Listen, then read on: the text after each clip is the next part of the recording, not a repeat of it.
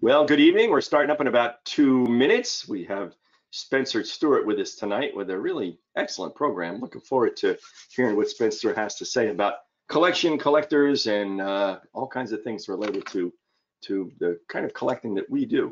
So we're going to get started in just about a minute, so we should be just fine with that. I'm going to rearrange a couple of things here, and I'll be right back at you. That's Spencer, by the way. He's the good he's the good looking one.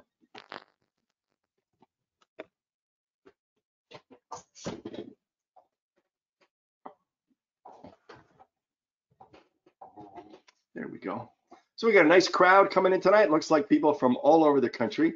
I don't see any uh, folks from overseas, but we're covering North America tonight, which will be just great. We run about an hour, as you know, and this is uh, Manuscript Monday. We do on every first Monday of every month, unless there's some big holiday. Then we do Manuscript Monday on a Tuesday. Actually, the July July 4th, which is uh, Independence Day in the USA, is uh, is on a Monday, so we'll do that one on a Tuesday. But our June is going to be the first Monday of the month, and uh, and all will go well.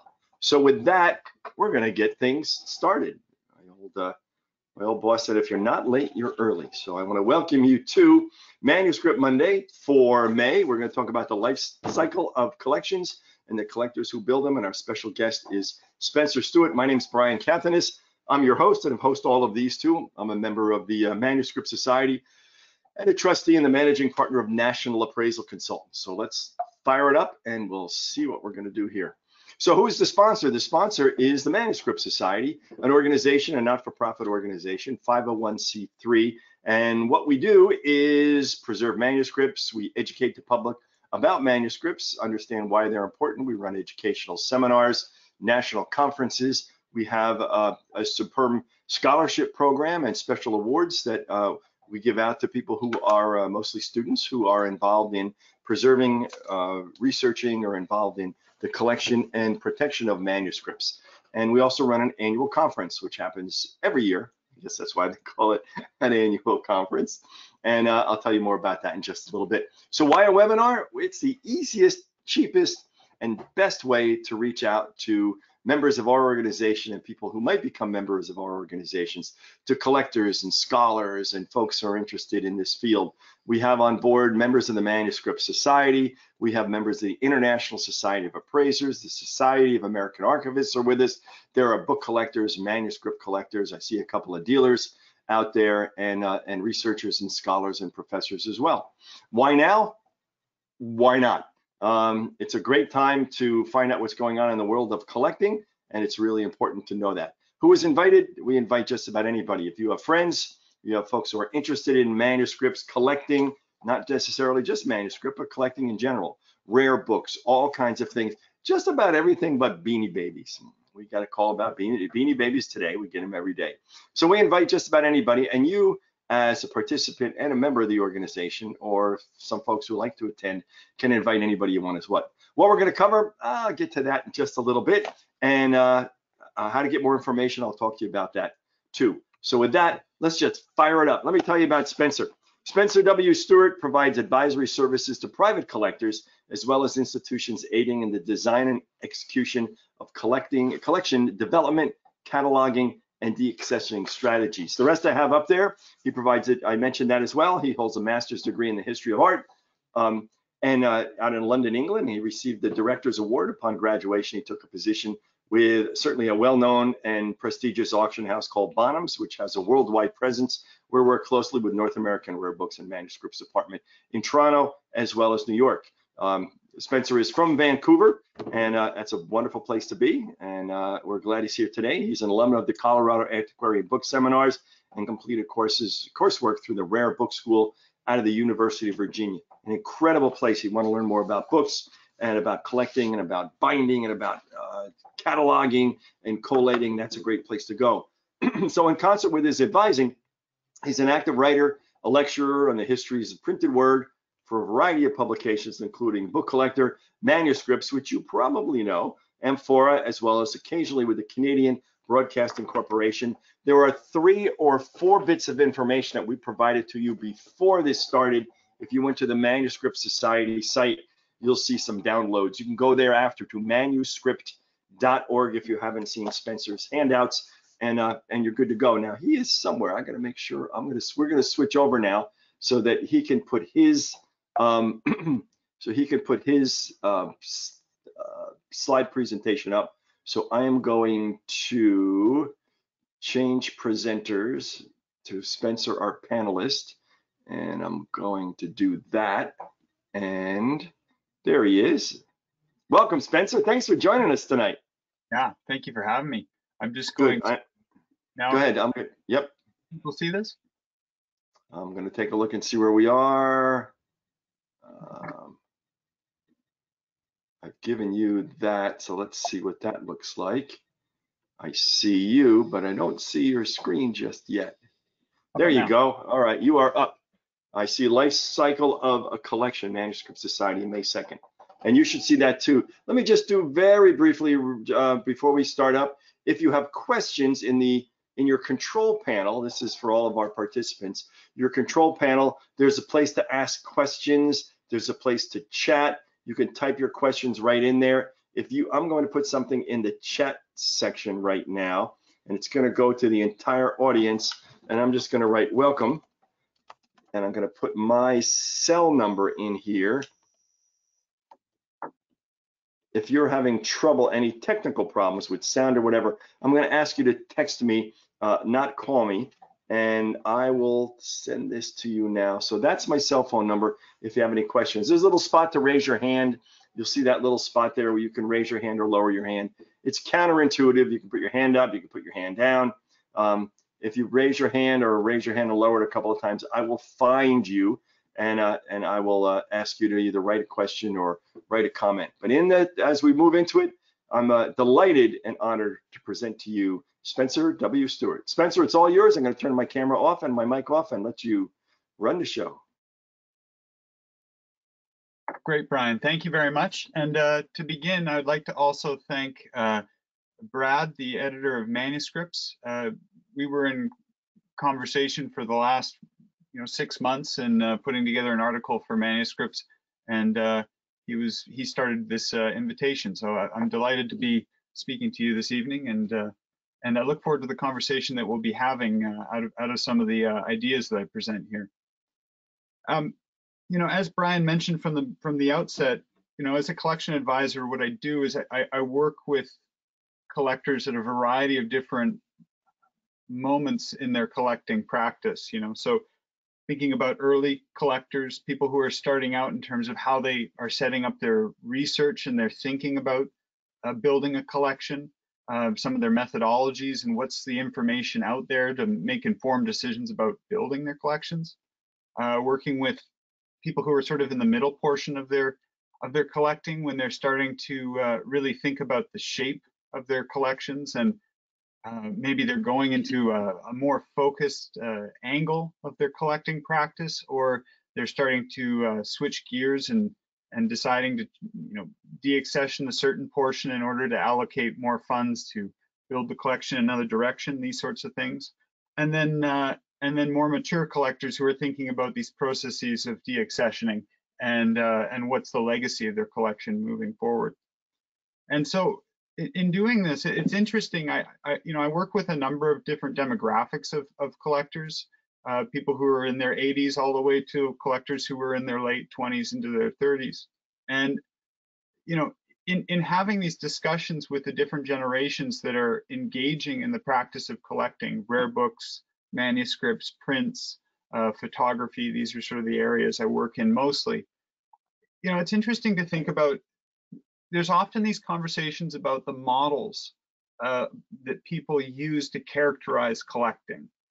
You know, these discussions of of getting the bug or or the fever or a you know a gentle madness. These sorts of conversations, and these are very much archetypes. You know, these are historically defined moments of of collecting practice and you know they're often also created around the context of how does one gather and develop their collections you know in, in many ways these discussions of, of getting the fever or the bug or whatever it might be they're, they're connected to a, a period of time in which it was a feeling of almost impassioned collecting, something where you may not have all the information. And so the feeling that something is being offered to you, it might never come again. And this is sort of changing uh, pretty dramatically. I'm, I'm, I'm learning it through a lot of the younger collectors that I'm working with, uh, you know, and the methodologies that they employ.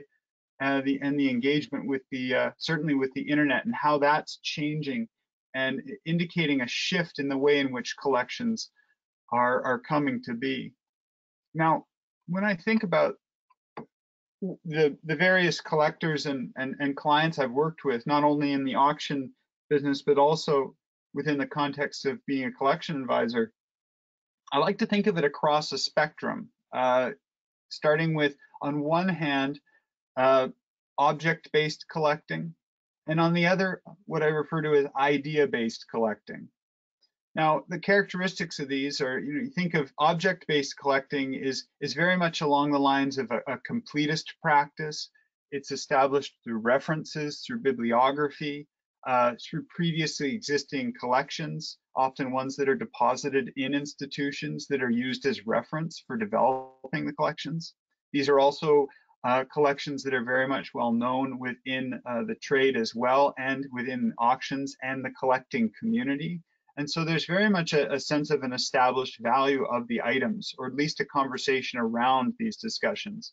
And very often as well, these collections uh, manifest themselves in single medium. So they focus on, say, books, for instance. Uh, this collection on the left is one I worked with, which particularly focused on modern Irish authors. Uh, it was a couple, and they collected together over a period of 30 years, developing a, a collection of these sorts. And in this sense, it takes on very much a kind of arborescent model, a, a sort of building out. Uh, there's a core group of objects or items that really found the idea, and then it branches out into, you know, sort of auxiliary uh, connections. Um, now, there's another manifestation that I think has always been present in the act of collecting, but certainly the uh, technological influence of the internet to the act of to the practice of collecting itself has is making this a, a model that I'm seeing more of in uh, the younger demographic that are building collections. And this is uh, this is an idea-based collecting practice, one that's often and, and I'm using the example here, as you can see, of uh, Lisa Unger Baskin's collection of women's labor, which was exhibited at the Grolier and is now placed in uh, Duke University. And along the lines of, of, of Baskin's collection, it, it's often collections that are formed around questions and they're formed around the absence of, of a collection of objects to, to explore an idea. So in the case of, of Lisa Unger Baskin's collection, the question of where, where is women's work represented uh, within visual culture and within print culture. Now, on the other hand, you think of object-based collections are very much statements. Uh, they are often compared in relation to other collecting practice. And so in that sense, they are very much tied into one another in quite a close way. Whereas the collector that engages in this kind of idea-based collecting, it's very much, you know, they're they're kind of going off the beaten path in a way.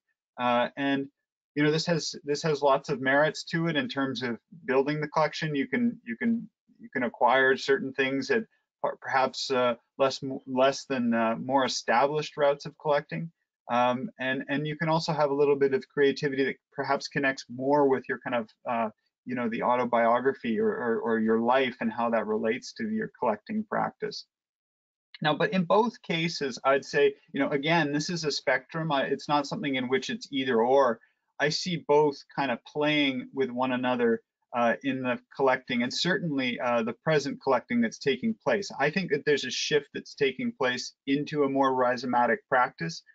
It's not just because of uh, the medium by which people are engaging with catalogs, uh, you know, book fairs, auctions, things of this nature, but certainly it does lend itself to perhaps exploring uh, unintended opportunities that may have not been uh, available to the collector at an earlier period.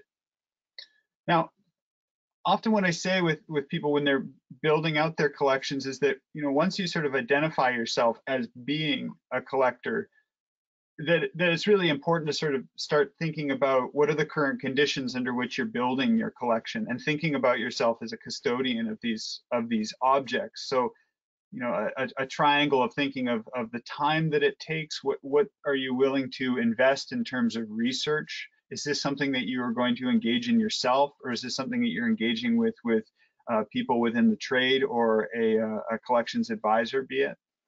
Uh, the discussion of space, uh, access to your collection, making sure that it's protected but also accessible at the same time. And then uh, the financial investment or, or, or, the engagement of how you're building out your collection. Uh, what are the intake rates? What are some items that uh, you know are really uh, key to your building of your collection? Uh, which are ones that are, you're willing to perhaps pay for a lesser copy in order to simply have an example? These sorts of uh, you know qualitative questions of, of the collection that you're trying to build um, in order to think about it really as a kind of a, a gradual developing process. Now um, when when you are building a collection, be it through object-based collecting or this kind of idea-based collecting, you know, you're in both cases, you're very much setting up a, uh, uh, you know, a world that people can navigate through, uh, through these ideas and some of the expressions that are are are enacting themselves or realizing themselves through the objects that make up your collection. And so, in that sense, you know, as soon as you sort of get your sense of being a collector, uh, of identifying in that sense, you know, it's really important to start to develop some form of catalog. Um, you know, the, the records of this sort allow you to really develop a map of the collection that you're putting together. And in this case, you know, I have here Ledger, Excel, and some softwares. And, you know, these connect to, you know, Ledger is easier for tens of items, Excel for hundreds, and uh, and on through to softwares for uh, thousands of items. Um, in one particular case, I'm working with a collector that's uh, developing into a historical site, and uh, we're making use of softwares because simply there's so many items and the ability to uh, create certain um, connections with with those objects. Uh, something that I'm noticing within the, the demographics is that there's oftentimes uh, with the with more mature collectors that they're they either have a written out ledger catalog or they're using uh, Microsoft Word, and it's happening uh, sort of after the fact of the creation of a collection over a certain amount of decades. Uh, what's interesting is to see um, in emerging collectors, uh, sort of younger demographic of collectors that are, are building their collections presently, are really starting from the bottom. They're making use of Excel and and other softwares, uh, you know, right from the get-go. And it's interesting to see how that gets a sense of the connection um, between your collection and the opportunities that are out there in somewhat real time. So in looking at catalogs that are available, in looking at auctions that are coming up and pairing them against your collection in terms of the content of your collection, but also what you spent on the, on the, your previous items that were similar. There's this ability to make um, comparative, uh, you know, uh, comparisons quite quickly and really have a sense of the kind of connection with your collecting as it is developing. It's important in a lot of ways to catalog as well to really bridge that gap between the impression that one has of your collection of their collection and the actual contents of the collection.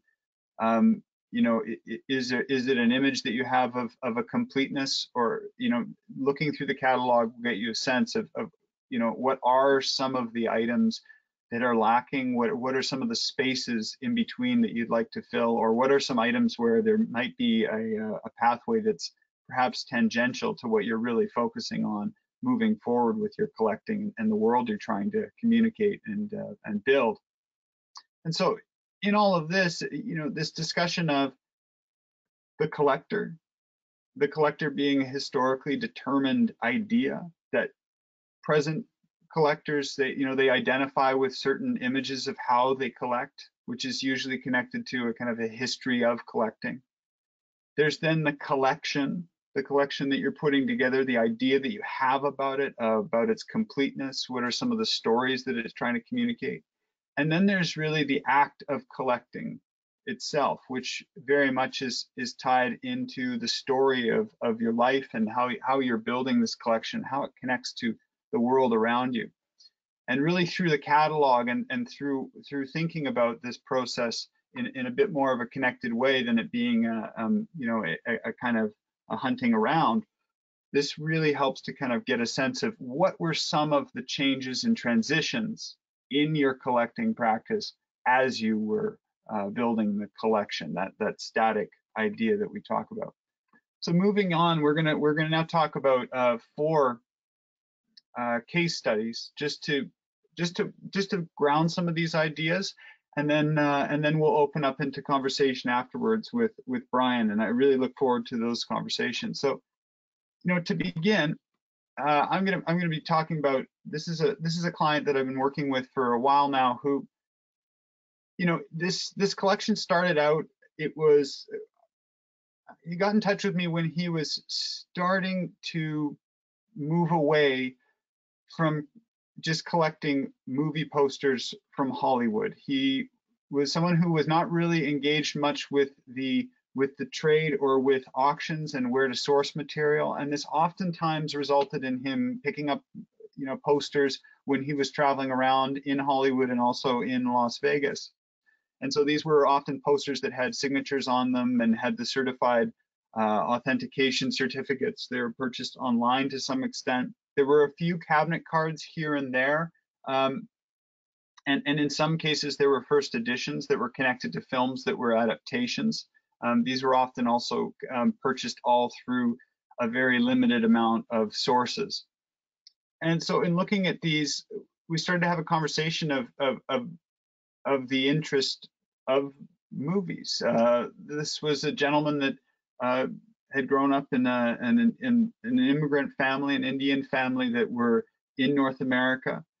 Uh, they often watched films from the history of, of Indian cinema, which is a history which runs parallel with that of Hollywood.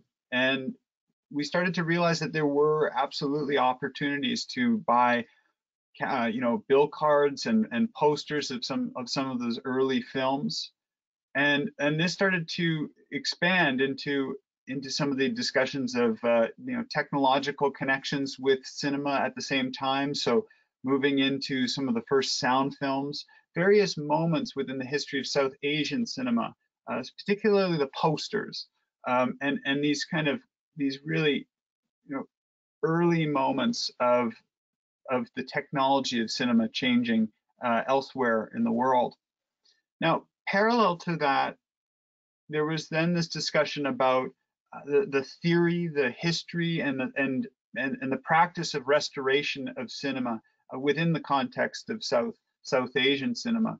And this expanded into, uh, you know, engagements with the National Film Archive in India, uh, the, the Film and TV uh, Institute in India as well, and some of the theorists that you see coming out of South Asia talking very specifically about the South Asian experience of creating uh, cinema concurrently with uh, Hollywood. And, and this is developed into, uh, into a collection that, you know, it, it has certainly objects based to it. It has posters that inaugurate moments in which certain films uh, premiered for the first time but it also connects to some intellectual uh, foundations of the history, restoration again, and, and theory of, of cinema and the history of cinema in India, and has now engaged with a uh, with a college in the Lower Mainland which studies uh, South Asian culture.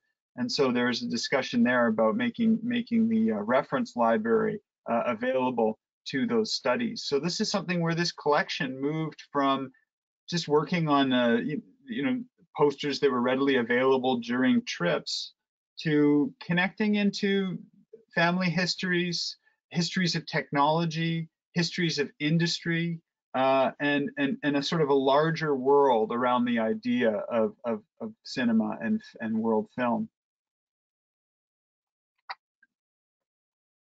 In a somewhat similar similar vein, uh, this is a collector that was gifted uh, Library of Library of America collection, not the obviously the complete run, but a very lengthy uh, run of of these authors. And what happened was is that the collection started to move into an interest in modern firsts. Um, and what's interesting is is that this was when I started to engage with with this client. Uh, we were working with cataloging the collection and thinking about um, directions, thinking about certain de deaccessionings of certain certain uh, copies because it was getting to a point where these were this was very much a more special purchaser uh, focus area. The prices were getting uh, quite larger, and it was to a point where the enthusiasm was just no longer there for the collector uh, moving forward. But he did have a couple of books that he'd picked up over the years from his travels of American authors as they appeared in other parts of the world. And so we started to set out working on uh, trying to, you know, trying to locate and identify um, first appearances of some of those modern authors, the Hemingways, uh, Fitzgerald, um, Steinbeck, writers of this sort, as well as others, um, and and starting to collect, you know, not only the first appearances of them, but also uh, interesting examples uh, from other parts of the world. So you see down the bottom here, uh, you know, the, on the left side, uh, this is a, a Chinese copy of Grapes of Wrath. You have uh, the Russian copy of The Old Man and the Sea, a Danish copy of uh, Great Gatsby, Iranian copy of Lolita, where you can see there's a sort of a, a, a basically a, almost a scanned version. It's a, it's very strange in person seeing this printout, but it's a it's a still from Kubrick's uh, adaptation of the novel and then On the Road, uh, published in Croatia in 1971. Now, this is just a sort of tip of the iceberg of a larger collection, which, you know, as we were talking about this collection, one of the things that he was talking about is, is that it kept feeling like, you know, he's just working on these first editions. They're, he's feeling that they're, they're getting a little too rich for his blood. There was a sort of embarrassment of showing them, and, and, and it didn't really communicate that much to people, you know, friends and family that he, he wanted to share the collecting with. But when he started to lay out on a table some of these the various copies of even in some cases the same book, you know, it really engaged with people and exposed the collection to be something of a, a it had a real social element to it. And from there, it's expanded on into um, you know a, a, graphics teacher being interested in the collection and, and having students visit it and take a look at it and discussions moving into the future of possibly placing uh, the collection as an example of the ways in which content of a book can be translated in different ways and marketed in different ways uh, throughout the world, particularly American uh, modern writers. So again, a, a, move away from, you know, the uh, the the the gift, uh, which this was a the uncle had gifted a, a, larger collection of books, which had moved into the first editions. Certainly a, a, a very interesting area of collecting, but one that the enthusiasm was starting to wane. and He was starting to wonder where he wanted to go. And then this kind of change into, you know, this idea of you joke sometimes about, you know, judging a book by its cover, but it's really fascinating when you start to see the variations on a theme, uh, the, the, the themes that keep reoccurring, the ones that look really different uh, within the different cultural contexts.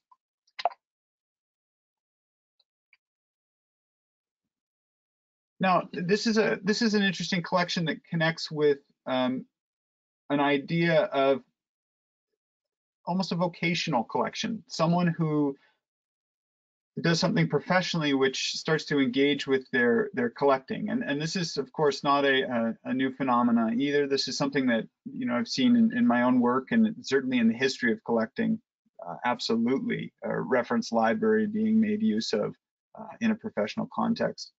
Now, in this case, this is a uh, this is a uh, a collector who she's she's also an environmental lawyer and is engaged with these discussions of of the environment. Um, the collection started with a gift, similarly to the earlier uh, earlier case study I was talking about. Uh, and it started as a gift. It was a it was Rachel Carson's book, uh, Silent Spring. You may be familiar with it through the you know the use of pesticides and its impact on the natural environment.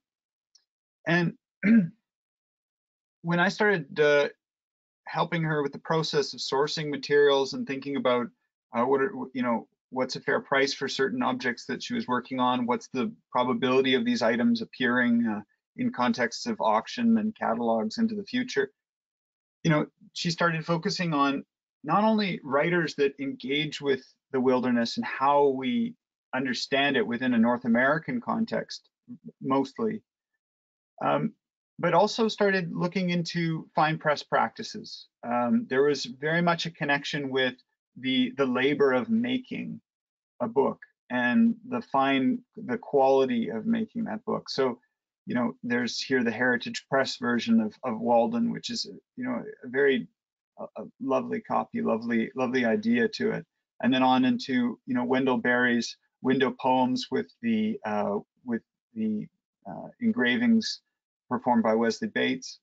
And then you have, um, you know, Andrew Steeves' Gaspereau Press doing a, a, kind of smaller print of uh, of Aldo Leopold's Wherefore Wildlife Ecology, which is a, a kind of a work on on sustainable working with the land. And this has moved into, uh, you know, as we've been thinking about this further, and, and I've been having these conversations about this direction onwards, uh, the process of how ecology uh, and, and alternatives to uh, certain forms of agrarian uh, uh, use of the land, but also um, certain forms of, of living in communities has changed over, particularly after World War II. So, you know, focusing on Ian McHarg, uh, his ideas through design with nature, which was, you know, adapted into a into a television show that got fairly large readership. Uh, some of you may be familiar also with the, you know the whole Earth catalog and all of its iterations. Uh, there's a first edition in this collection, which um, you know is first issue of of many issues, and then it's gone into more, more recently in a really interesting way into uh, intentional communities in the 1960s and 70s, uh, and some of the broadsides and uh, and pamphlets connected with some of these groups, and so moving from this gift, from the engagement of pesticides impacting ecology, moving into in, individuals in the environment and how writing such as Thoreau, Wendell Berry have, you know, the, how that's changed our perceptions of being, living with land, and then into these larger, um, larger communities, these kind of alternative approaches and perspectives to an engagement uh, in, in ecological living. So that's one in which it, this is continuing to move on into more collective uh, practices, more earth movement. Um, and certainly the, she's also actively collecting a number of organizations that are that are working at the moment. So this idea of really honing it down, it's actually broadening out into into uh, into larger uh, a larger plane. Now, uh, just to, this is the one that I, I will conclude on for the evening, and, and, then we'll have I'll have some closing remarks, and then we can go into a conversation. This is a collection that connects with a question that I get quite a bit. This idea of where are the new collectors? How how are how are they coming into uh, what, what they do? And similarly to you know the last example I used of the gift, um, this was a collection that started out with a father and daughter, and the the father collected modern firsts, not on not dissimilar to the uh, the graphic collection I was showing earlier. Um, and he was engaged with with that collecting through the 80s into the 90s. Uh, there's a point in time where he sold that collection and um, and provided the the results of of the collection sale to the daughter who was building up a collection and there were actually some copies as well that stayed within her collection. And it was all to do with the history of film, with film adaptation of all sorts. But particularly, she was really interested in the film adaptations that took place in, from writers in the 1960s. Uh, so you see in here the uh, Joseph Heller, Ken Kesey, uh, to name just a few. But uh, you know, a number of the a number of the books that were later adapted into what we know as the sort of new American cinema of the late 60s and into the 70s. Now, what happened is, is that as she built this collection, she started to move into, she was involved in the movie industry and continues to be. She started to get involved and interested in the actual process of making films. So storyboards, scripts, uh, these sorts of things. And this was connected very much through uh, through auction sales. Most of this was acquired through through auction processes. And as auctions went more online, turning into the 21st century, this is where that collection really started to focus. Uh, I've been engaging with this collection and the kind of latter portion of it, the iteration, which it'll be interesting to see where it goes. It's it's moving into this focus of precursors to cinema. She often talks about it as this idea of this the cinematic imagination. How what were the various manifestations within uh, culture that prepared humans for for cinema as we know it? This this kind of hybrid storytelling. And so you know, as a result, this is a collection that's a multimedia collection. Uh, back to this idea of idea-based collecting. You know, it has harlequinades in it as well as um, zoetropes and all sorts of other kind of optical ways of telling and uh, magic lanterns, things of this nature. And what's interesting is, is this also coincides, this change in the collection is also coincides with, with the development of, of, of a family. She's, she's has two kids now. Uh, they're a little bit older now uh, as the collection keeps moving, and they engage with these objects. Uh, this is this is sort of a passing on of, of the really kind of physical, tactile engagement. Um, and this is something that when I'm working with people and trying to think about the future for their collections is how to facilitate these moments in which friends and family can connect with the collection in a variety of different ways. You know, they will people coming towards a collection that they may not be entirely familiar with will find ways to engage with it. And I think oftentimes collectors, you know, because they've been working through and through and on the same objectives, it starts to become a well-worn path.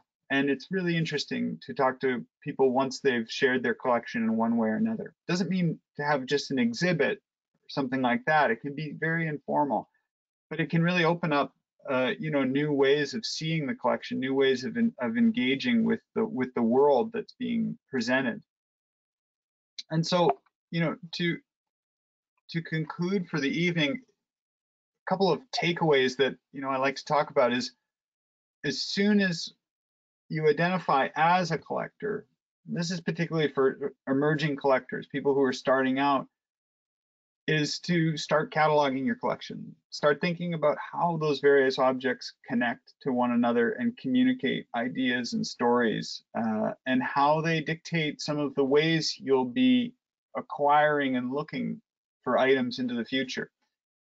Now, another thing is is is taking a planning approach to collecting. You know, back to this discussion of archetypes of collectors. You know, there's historically determined types of collectors from the past. The idea of of the, the feverish collector, the one that is you know haunted by the items that got away.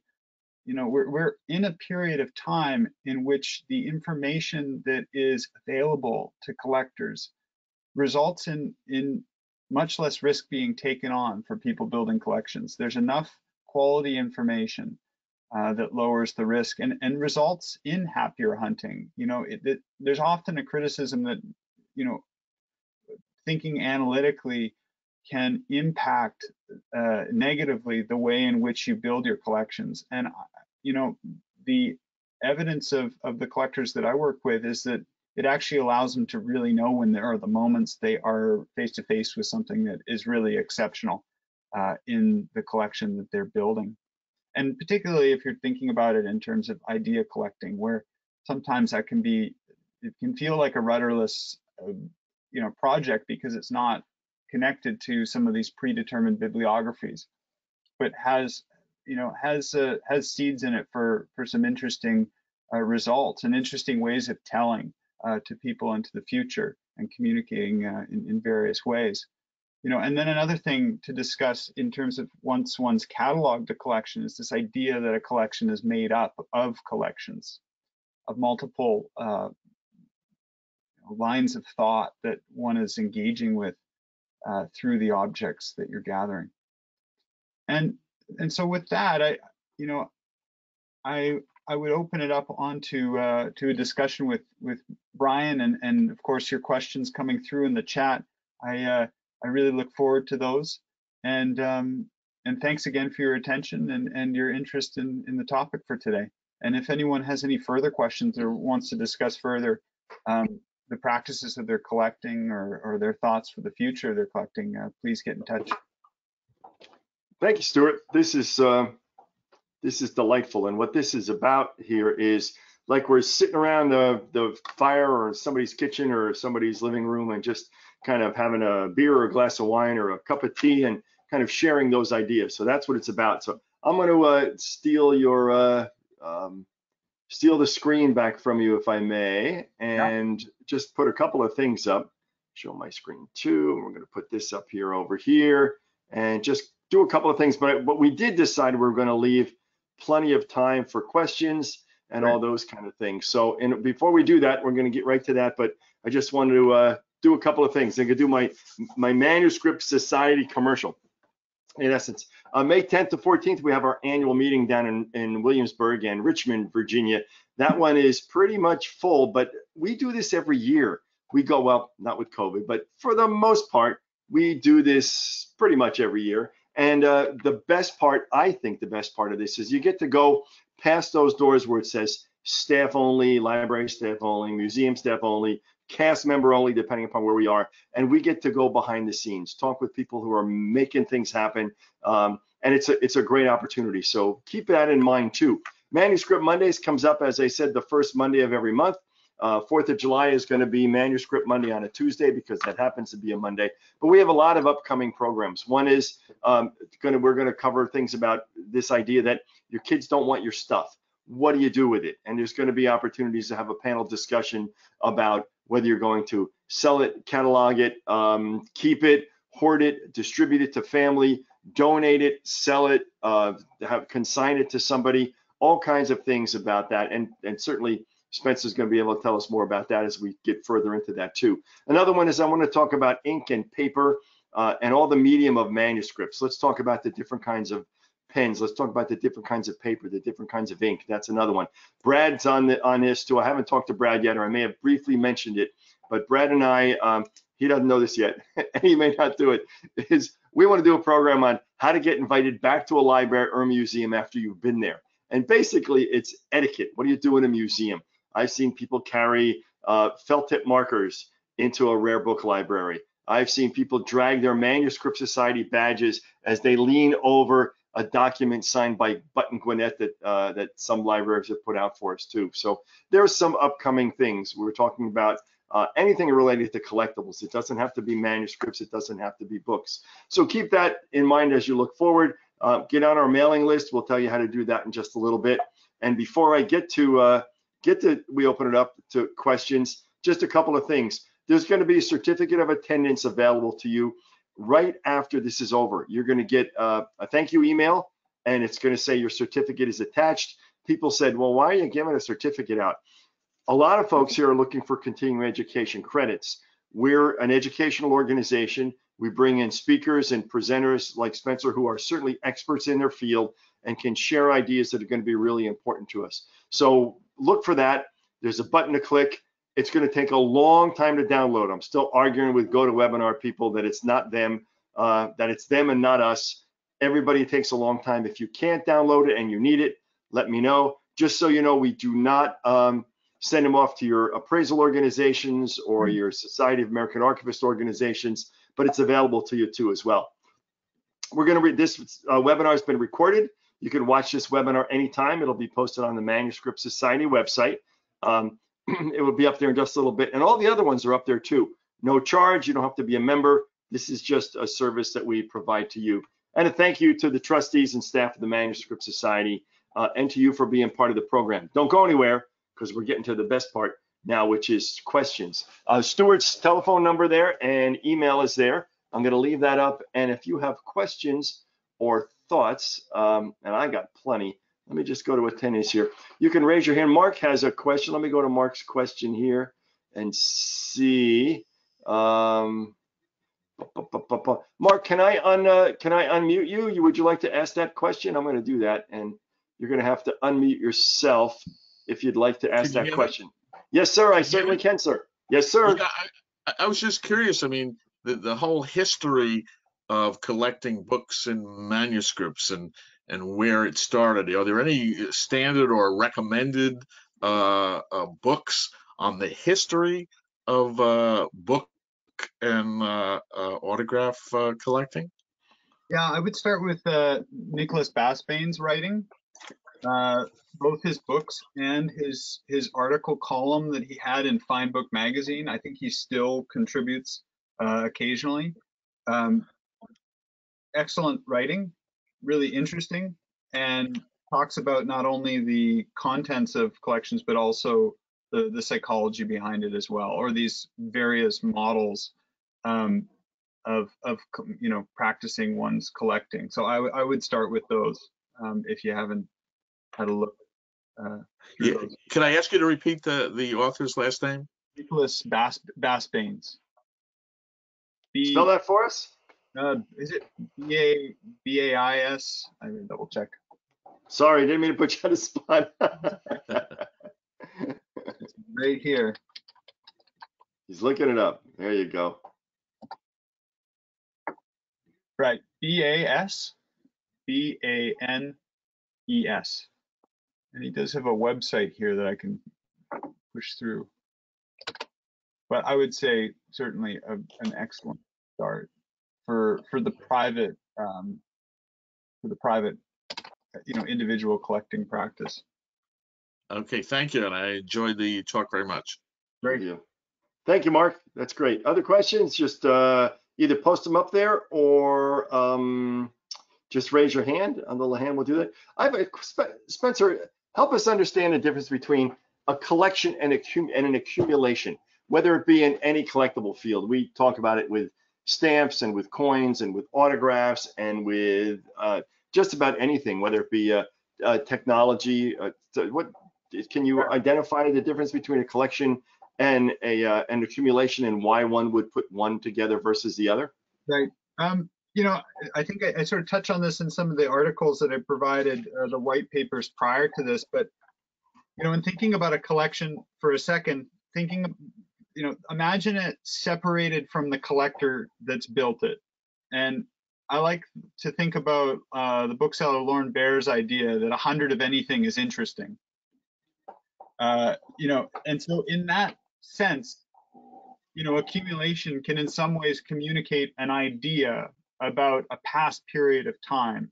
Um, now, so that's one that's one thought. Mm-hmm.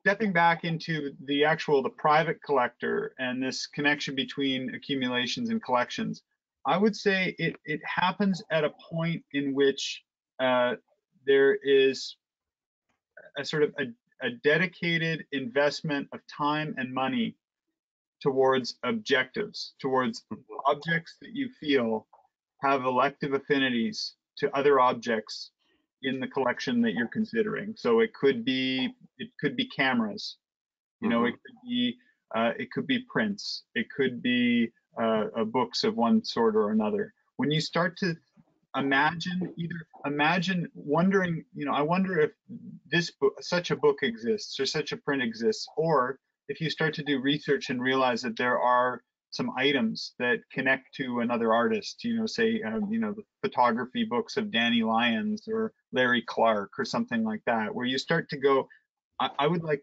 to see the progression of someone's career.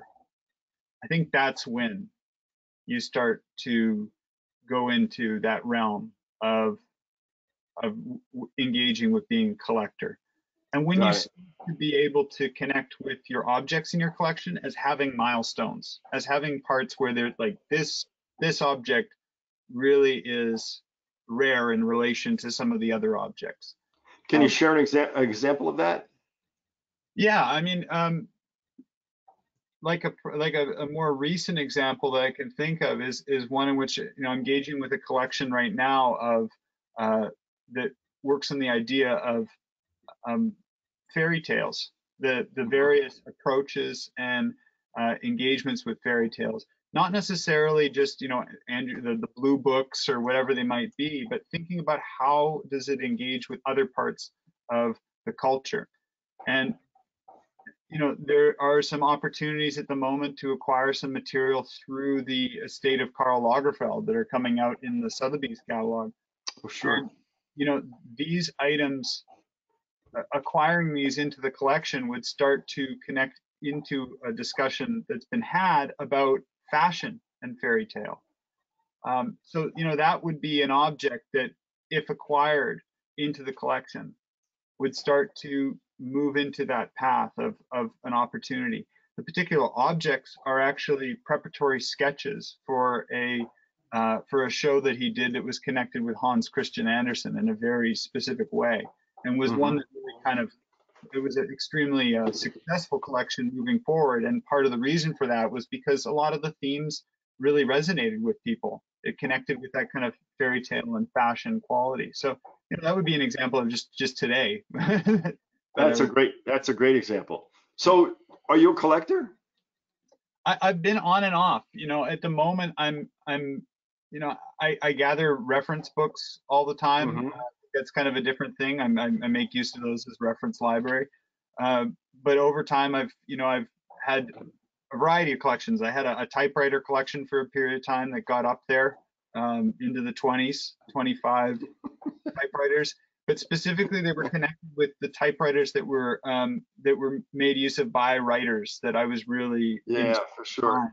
And Mhm. really thinking about this idea of the, you know, it started obviously with Jack Kerouac on the road, these ideas of marathon typing, like what would that physically feel like? Um, Yeah, And how technologies like that changed the process of making making a novel, you know, typing it out. And then I Mhm. also had a, a collection of of early early and first issues when I could, um, uh, hard bop vinyls. So Mhm. The Blue Note, Impulse, uh, and other others like it, uh, because not you know I'm a musician myself, uh, you know on the side, and I engage with that music a lot. But also just the you know the graphic design was incredible, the personnel on those records was great, the uh, the fidelity of those early pressings is fantastic. So you know that was a real that was a win-win-win sort of thing. But it was difficult to keep that going. It was one that is Mhm. an area that's still developing and uh, and you know uh, moving a couple of times it starts to add to it so i'm uh, i'm recovering at the moment Hey, Brad Cook has a question. Brad, I'm going to unmute you if I may, and you can say hi to everybody and check in with Spencer with your question. Hi, Spencer. How are you doing? i'm doing well brad it's good to hear from you Um, great presentation, by the way. um, the the one thing I I noticed, uh, you mentioned that a collection is made up of collections. I'm an archivist, um, so can you just clarify that a bit for me? And do you or do you sp- did you specifically mean that a collection is made up of accessions? Or are you being literal in that a collection is made up of collections? I mean, I could understand that a collection is Yeah. made up of multiple collections, but Yeah. to some there's a there's a difference there. Yeah i mean uh, what, what i mean by this in, in the context of how I, how I engage with it is that when one is building a collection as a private individual uh, there are objects that are orbiting around an idea. Uh, so it's a bit it's it's less in the arch, arch, archival context. It's more about um, constellations of ideas. And and where you're going in terms of your engagement. So you know an example i can think of is there's a collection i work with where the collector started out with photo photo exhibition surveys. So uh, you know family of man the photographer's eye things of this nature really setting up how photography uh, in the 20th century established itself you know in in europe and also north america as an art form and when it got its place in moma and, and other places like that. Um, you know this collection as that collection was starting to build and he was buying those catalogs he started to when the opportunity presented itself purchase bauhaus related photo collections. So photo books prints things of that nature. And around that same time started to also engage with some of the you know, some of the pamphlet designs that were taking place, graphic designs at that same time. So, you know, they all touch on photographic reproduction in one way or another overall, but have you know a, a, general focus in the exhibits that were happening, those those exhibition catalogs, specifically with Bauhaus and the kind of more formal approaches to photographic practice, the more abstract photography that you see uh, in the 20th century, and then more focused and more connected with his profession as a graphic designer himself with pamphlets and and how Bauhaus impacted typography and uh, arrangement. So that's what I mean is, you know, you think about he has a collection, but within it, there's, you know, you could show one of those one of those veins, and it would it would, you know, you could engage a conversation for, you know, an entire lesson if you wanted. So that's what I mean by that is if you step back, you can start to see those. Uh, and maybe that starts to make decisions as to what you really want to focus on moving forward. Anything else, Brad? No, I'm good. Good. Hey, by the way, thanks for all you do for the Manuscript Society. Brad Cook is our editor. Uh, as you mentioned, archivist, an incredible guy, and a wealth of knowledge. Tap into his expertise. Uh, take a look at the new issue of manuscripts that just came out. Uh, and he's always looking for articles. Isn't that right, sir? That is correct. Good deal. That's great. I'm waiting Um, for Spencer's next article. There you go. All righty, I'm going to mute you there. Dr. Stuart Embry, I'm going to unmute you because it looks like you have your hand up and probably have a question. Is that correct, sir? Maybe not. Maybe he just was putting his hand up and down. All right, I don't think we got him there too. Spencer, what instrument do you play and what kind of music do you like? Uh, drums. Oh, really? Oh, yeah. And what right, are we? Are we a rock drummer? Or are we a classical uh, orchestra drummer? What do you do? I have done it all. No kidding. I would say percussionist in in, in general. Um, I'm not playing in any groups at the moment, but I've done all sorts of all sorts of musical uh, forms. So That's great. That's good. Did your parents buy you those drums, or did they get, tell you to move out of the house after you bought your first kit? no, I yeah, I, I you know I collected cans when I was a kid in order to make enough to get the kit, That's and, it. and that, That's that it. secured my That's- sincerity in the in the endeavor for sure. I was a big fan of spackle buckets. They made a lot of noise, right? Yeah. Can I That's ask great. my question? Hello? Oh, there you are. Good. Dr. Embry, you are there. Go ahead. Fire away, my friend. Yeah, okay. Um, what, what, uh, you mentioned software. Um, I have a really large collection of uh, manuscript material and I've been using Microsoft database. Is that uh, adequate one or is there a better to keep track of your collection? Yeah, I, th- I think that's a good start, um, or or Excel or something of that sort, where you can start to put things in into fields, and then move into you know other softwares. Uh, one of the things that I, I think is important is to start off by making sure that the quality of the information is is up up to standard for you, and and really working on it in kind of simpler terms of, of an Excel sheet, something of this nature, and then start looking around. One of the issues I'm noticing with some of the, the, the private softwares at the moment is, is there seems to be a consolidation that's taking place of a lot of the soft of the collection softwares that are centered, centered around the cloud. And so the, the costs of purchasing and engaging with them is increasing. And also just the access to it uh, in terms of my own professional engagement, I, I, I avoid some of them just because there are these sort of third party clauses in which they're renting the server space from from other other sources. And this opens up the possibility that all the time that you've put into uh, to that could be potentially lost. So i, I often encourage um, you know working through through an excel sheet to begin with um, just to get the feel for it. Um, I think that's a, I think it's a great idea. And Stuart, if I could just build on that, uh, Excel is probably the uh, most functional interactive database. Almost everybody uses it, and all that data can be easily transferred back and forth. The challenge, as Spencer mentions, and Brad can probably comment at this too as an archivist, is how do you set up the fields that you're going to create?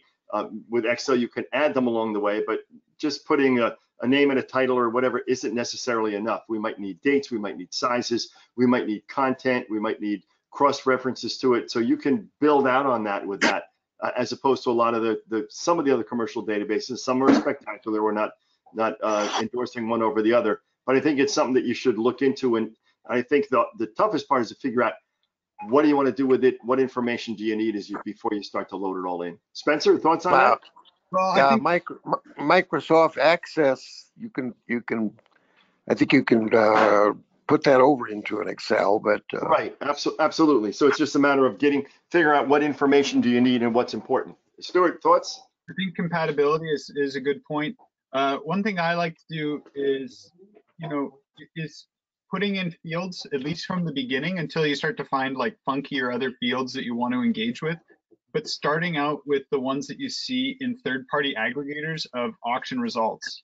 Um, that one helps. Uh, so look at what Rare Book Hub's doing, what Artprice is doing, what other um, other services of that sort are doing especially if you're building out your collection, it helps because it you, you start to be able to reference it quicker.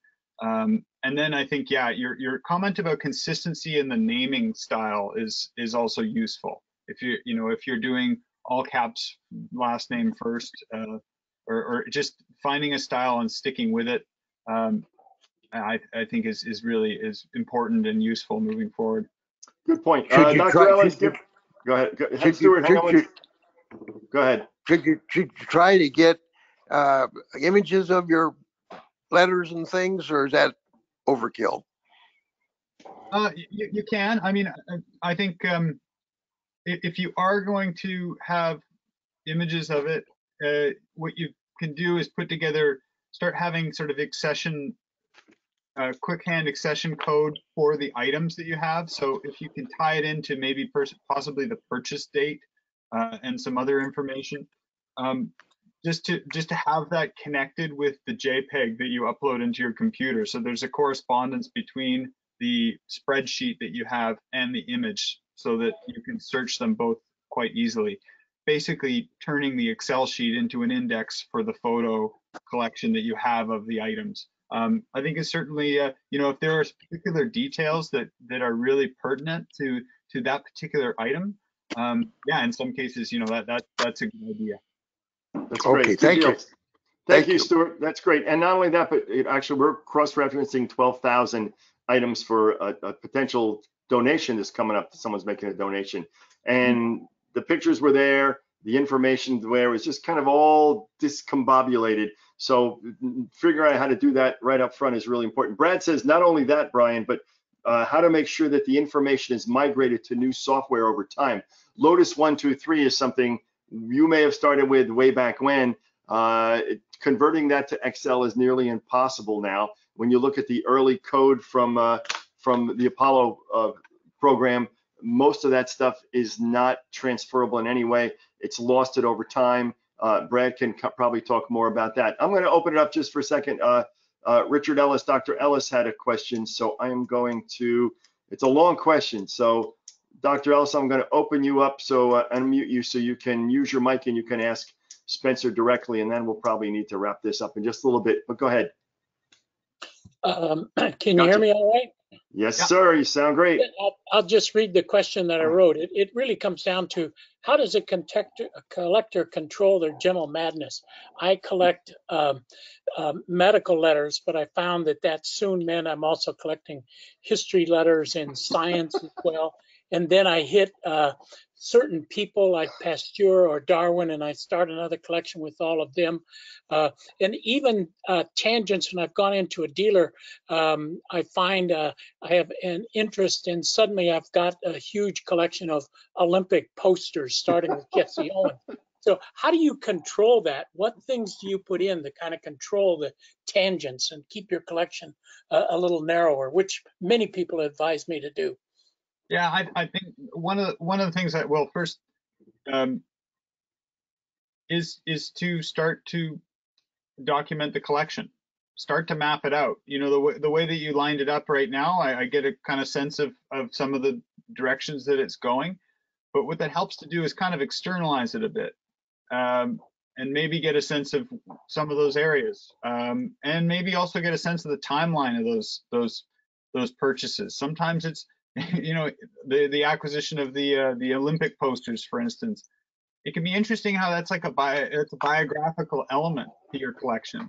You know, oftentimes I when I'm dealing with collectors, we'll start to look at like concentrations of acquisitions of a particular type, and it's connected to either something personally that they were thinking about or something that was going on in the in the world at that time. But starting to think about the those dynamics, you know, it, helps with the act of externalizing the collection through cataloging. So that's sort of the way it starts, um, and and working through it in that process. Um, and you know, as that's happening, also thinking about, you know, what is, you know, is that a wholly negative feeling that you have towards the collection that you're building? You know, if you're if it's something that you're enjoying and the way that you're you're gathering it is is a part of that, then you know, I don't know if that's entirely something that you should try and prevent. Um, but if it's something where you feel like it's getting somewhat um, beyond you or feeling like it's something that's possessing you in a way, I think one way to do it is certainly to to step back and take stock of what you have and what are some of the stories that you can engage with others about. I think bringing people into the conversation about your collecting too, like showing these items to to fellow collectors or to friends and family, um, can also kind of engage engage you in in that process. So um, I hope that kind of starts to touch on on some of those uh, some of those possible It- perspectives. It does. That's Thank you great. very much. Good deal. You bet. Hey, Brad, got a couple of thoughts here. I'm going to open Brad up again because uh, not only does Brad have some good information to share with us, but he just told me that he was a drummer for a short time as well. Brad, you're you're on again. Well, with, with what Spencer was just saying, I had the thought that I, what I've told people often is that it's, it's also a matter of simple self-control. That you just have to tell yourself sometimes, no, I'm not going to collect that because while it is related to the area I'm collecting in, it's not specific to the area that I'm collecting in. And, um, but sometimes just setting up that absolute boundary can help you out greatly. Yeah, and and also It's- like, oh sorry, No, I was just gonna say it's hard, but you, but people can do it. yeah, I think like to add to that, um, when I work with collectors is co- qualifying the the the act of collecting that you're doing. Are you looking towards exemplary objects in a particular focus, or are you looking for examples like duplicates of of a you know? Are you looking at uh, the best copy of a book? Mhm. are you looking at the various editions of that book um, you know so that can help if you if you start to realize that you're a condition collector that that it, it gives you a reason to say no Mhm. this is i can find a better copy i know there's a better copy out there i have the information that informs me of this i can wait you know it's not so much a no but it, that turns into a waiting um, which changes the relationship right? But if you are say looking for duplicates condition doesn't become an issue. And so therefore the price of the object is probably less. You just need more space you know and that becomes the right? So it's a trade-off where you start to think about, okay, you know, am I collecting the exemplary example of a paper mache binding, or do I just want the version of a particular issue of a paper mache binding? In that case, you can find a lot of chipped paper mache bindings, you know? Um, however, finding one that's in better condition is, is a, is really a difficult process. I'm working with a collector at the moment about that, and it's, you know, we're more on the condition line of things. It, there's a lot of no's. Good point. Well done. Good deal. Right. Mark just typed, typed, are there any psychiatrists that specialize in treating autograph collecting mania? It could be a field and this would be a good, this is probably a good base. So any psychiatrist looking to specialize in that should join the Manuscript Society. They'll, they'll be busy for a long time. Hey, Brad, I'm gonna, I'm gonna mute you off here, okay? And, uh, and we're gonna wrap up for the day. Good deal. All right. Um, we are gonna call it a night. I got one more thing for you. And then before I, uh, do, I want to certainly thank Spencer for coming out and spending a great time. And for all of your questions, for you attending and being part of it, it's the discussion that really makes it interesting. We get to learn a lot more about each other. We get to learn about fields, some things we never knew, and we certainly learned a lot more about collecting and how that all works. So you can get a lot more information at the Manuscript Society website, manuscript.org. If you're not a member, you should be one. Um, you get all the benefits of membership. Uh, you get to connect with collectors along the way. Sometimes there are local chapter meetings. We're going to leave that all to everybody. Spencer, anything uh, closing thoughts before we call it a night? Uh, no, just other than thank you, Brian, for for putting this together, and, and Brad, thank you for getting in touch initially about the article, and and and this led to the presentation. So much appreciated, and uh, I, and I look forward to the next uh, Manuscript Monday. It's really interesting programming. Good deal. Thank you so much. It has certainly been a pleasure uh, learning from you and and sharing uh, sharing the Manuscript Society Monday with you too. So take care, y'all. Have a good night. We'll see you next month. Next month, first of the month for Manuscript Monday. Good night, y'all.